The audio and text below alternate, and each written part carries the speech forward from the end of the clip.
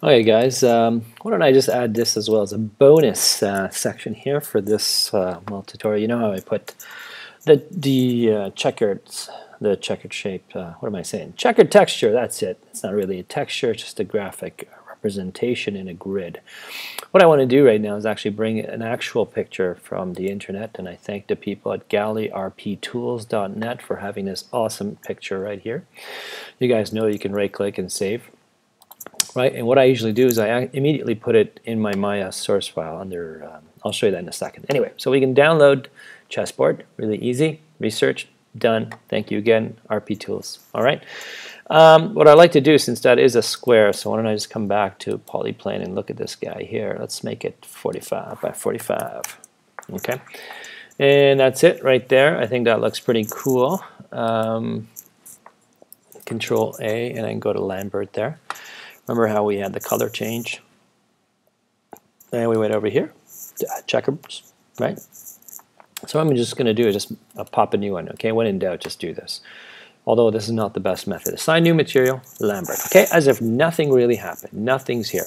So we know, we just bypass color in this area, click on the checkered, and as I said before, file. So at this point, Maya is looking for the file. Watch this now. I actually put my chessboard image inside my Maya recording for source images. So this is where I recommend you guys, when you download something, immediately put it in source images. It'll always be with you. And there it is, right? Open. Boom. Look how sweet that is. That looks awesome. So now if I just come around and uh, let's, let's move these guys in their appropriate places. W, of course. And you're over a bit. There you go. Place that there. This one over a bit more. Again, we're in W mode, which means move. Okay, let's center that. And, you know, since this is a chessboard set, uh, let's make two colors, okay?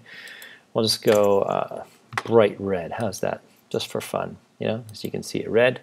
And you, my friend, are going to be white. And the other one will be white too, okay? So I'll just pick white here. Done. And this guy is going to be white as well. Change it from blue to a lovely white and done. Next thing we'll do is we'll position our camera accordingly. And that looks pretty good. A little off center, rule of thirds perhaps.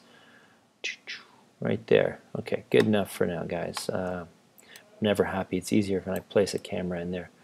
You know, and I'm just holding um, Option, Alt, and right-clicking to to make that. Okay, so here we go. I think that looks pretty good.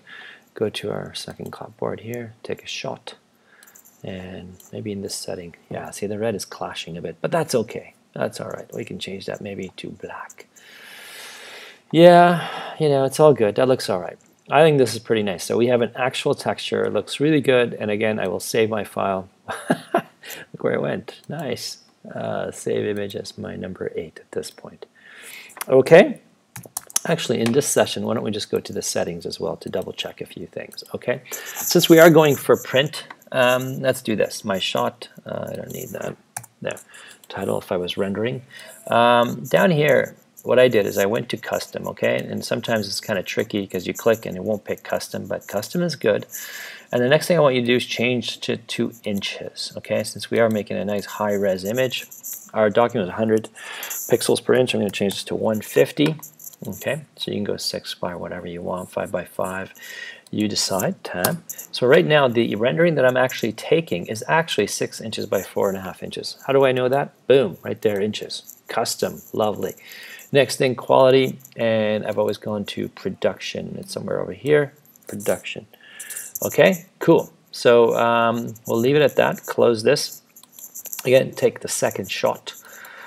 Uh, Skyfall has been a good influence on everyone, I think.